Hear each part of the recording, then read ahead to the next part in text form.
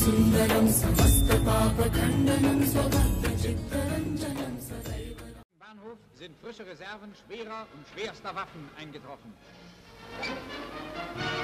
ആയിരത്തി തൊള്ളായിരത്തി മുപ്പത്തി ഒൻപതിലാണ് ഇത് സംഭവിച്ചത്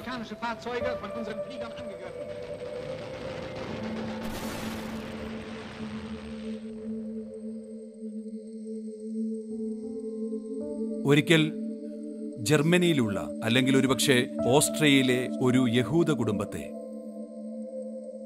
അവർ പിടിച്ചുകൊണ്ടുപോയി. ആദ്യം കൊണ്ടുപോയത് മാതാപിതാക്കളെയാണ് പിന്നീട് കുട്ടികളെയും ഈ പെൺകുട്ടിക്ക് അപ്പോൾ പതിമൂന്ന് വയസ്സായിരുന്നു പ്രായം. അവളുടെ സഹോദരന് എട്ട് വയസ്സും. ഇവരെ മറ്റനേകം കുട്ടികൾക്കൊപ്പം റെയിൽവേ സ്റ്റേഷനിലേക്ക് കൊണ്ടുപോയി. മാതാപിതാക്കളെ ലേബർ ക്യാമ്പിലേക്കോ മറ്റോ ആണ് കൊണ്ടുപോയത്. അങ്ങനെ കുട്ടികൾക്ക് അവരെ പിരിയേണ്ടി വന്നു. ഒരു സമ്പന്ന കുടുംബത്തിൽ നിന്നുമാണ് ഇവരെ വലിച്ചിറക്കിക്കൊണ്ടുവന്നത്. ഇപ്പോഴിതാ ഒരു ശൈത്യകാല ദിനത്തിൽ റെയിൽവേ പ്ലാറ്റ്ഫോമിലും. കുട്ടികളല്ലേ ഒരു ദിവസം കളിക്കുന്നതിനിടയിൽ ആ ബാലൻ പുറത്തേക്ക് ഓടിപ്പോയി. അവൻ അവിടെയെല്ലാം ഓടി നടക്കുകയും ഫുട്ബോൾ കളിക്കുകയും ചെയ്തു. തീവണ്ടി വന്നപ്പോൾ പട്ടാളക്കാർ ആ കുട്ടികളെയെല്ലാം കന്നുകാലികളെ പോലെ അതിലേക്ക് തള്ളിക്കയറ്റി. എല്ലാവരെയും. എന്നാൽ എല്ലാവരും കയറി തീവണ്ടി നീങ്ങാൻ തുടങ്ങിയപ്പോൾ തന്റെ ചെരുപ്പുകൾ പ്ലാറ്റ്ഫോമിൽ മറന്നുവെച്ചതായി ആ ബാലൻ പറഞ്ഞു. പെൺകുട്ടിക്ക് ഭ്രാന്ത് പിടിക്കുന്നതിൽ തോന്നി ആ പതിമൂന്ന് വയസ്സുകാരിക്ക്. നല്ലൊരു കുടുംബാന്തരീക്ഷത്തിൽ നിന്നും മാതാപിതാക്കളിൽ നിന്നും വേർപെട്ടതിന്റെ പരിഭ്രാന്തിയിലായിരുന്നു അവൾ. ഇപ്പോൾ അവൾ തെരുവിലാണ്. എവിടെ പോകണമെന്നറിയില്ല എന്ത് സംഭവിക്കുമെന്നറിയില്ല ഒന്നും അറിയില്ല എന്നാൽ ഇപ്പോൾ ഇത് ചരിത്രമാണ്. സംഭവിച്ചതെല്ലാം നമുക്കറിയാം. എന്നാൽ എന്താണ് സംഭവിക്കാൻ പോകുന്നതെന്ന് ആ ചെറിയ കുട്ടികൾക്ക് അപ്പോൾ അറിയില്ലായിരുന്നു. ഈ ചെറുക്കനാകട്ടെ തണുപ്പ് കാലത്ത് ചെരുപ്പും കളഞ്ഞിട്ട് വന്നിരിക്കുന്നു.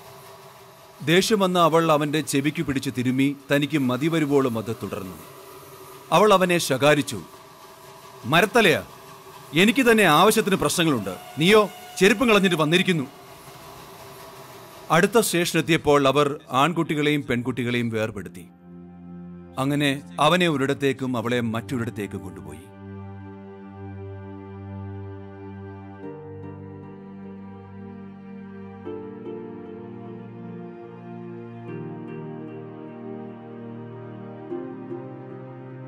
നാലു വർഷത്തിനു ശേഷം അവൾ കോൺസെൻട്രേഷൻ ക്യാമ്പിൽ നിന്നും പുറത്തു വന്നു.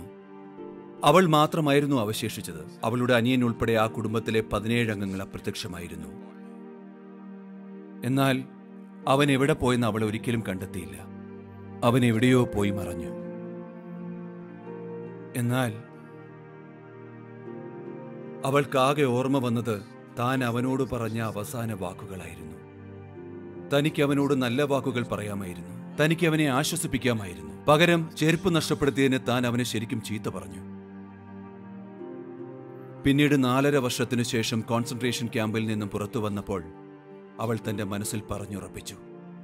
ഞാൻ ആരോടെങ്കിലും സംസാരിക്കുമ്പോൾ അയാൾ ആരുമാകട്ടെ? ഒരുപക്ഷെ അത് അവസാനത്തെ സംഭാഷണമാകാം. പിന്നീട് ഞാൻ പശ്ചാത്തപിക്കാൻ ഇടവരരുത്.